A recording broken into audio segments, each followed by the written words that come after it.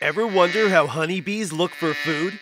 It's a worker bee's job to find nectar and pollen, so let's follow her. The worker bee flies around searching. Once she sees or smells the right flower, she takes a nibble, then makes a beeline for the hive to spread the news with an I found the pollen dance. You can see the show on the vertical face of the beehive. Notice how she's dancing in a one inch circle? That means food is less than 10 yards away. If food were up to 100 yards away, the bee would dance in an arc over 100 yards and she'd dance in a figure eight. The further away the food is, the slower the dance. This bee's told us she's found food and it's close.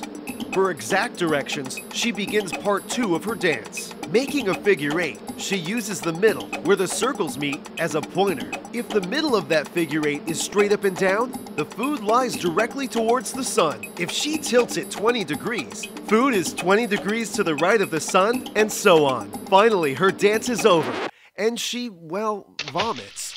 This lets the other bees know what to look for, as well as where to find it. That's the buzz on how honeybees find food.